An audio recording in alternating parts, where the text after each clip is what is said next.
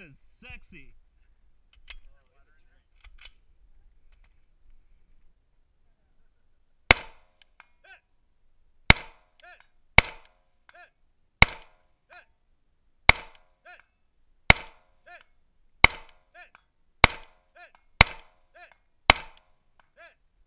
This is 55 isn't so bad.